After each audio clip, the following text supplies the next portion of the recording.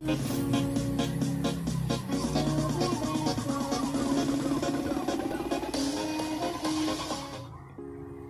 teman-teman semuanya. Di video kali ini saya mau pasang modul MP3 Bluetooth ya.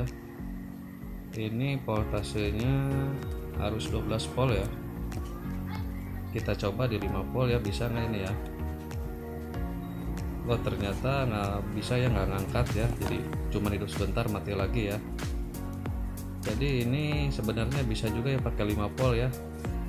Tapi bukan lewat soket aslinya ya. Jadi yang aslinya kan 12 volt ini. Terus masuk ke IC 7805 ya. Ini outputnya ini inputnya ya. Jadi outputnya 5 volt. Nah itu 5 volt kita pakai dari casan HP ya. Kita ngambilnya nih dari sini aja ya dari elko.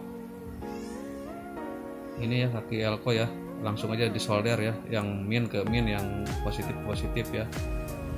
Ini guys ya kita solder nih. Ini yang hitam ke negatif yang merah positif ya. Jadi ini langsung 5 volt ya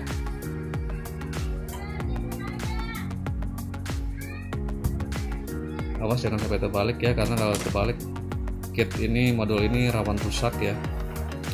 Ini saya udah pasang outputnya ya ke speaker box ya. Kita tes ya. Ini guys ya alhamdulillah ya udah bisa dipakai ya 5 volt ya. Jadi gampang sekali guys tinggal dimasukkan ke tinggal disambungkan ke L, kaki elko ya jangan sampai terbalik ya. Kita coba ya alhamdulillah udah normal. Jadi bisa dipakai 5 volt ya. Kalau lewat soket aslinya nggak bisa ya. Jadi hidup terus mati lagi jadi nggak kuat. Terima kasih ya teman-teman. Semoga bermanfaat. Wassalam.